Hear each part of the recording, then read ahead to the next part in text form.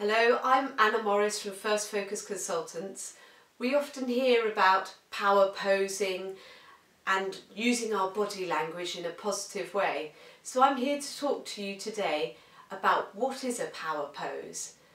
So, first of all, sit straight and think shoulders back and it's what's in the mind as well. So you're sitting up and you're feeling confident.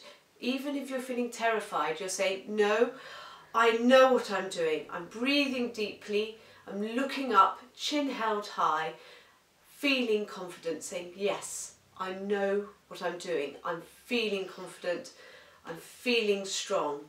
So you're sitting upright, you're not slouched, you're not looking at your phone, arms crossed, looking around in a very closed position.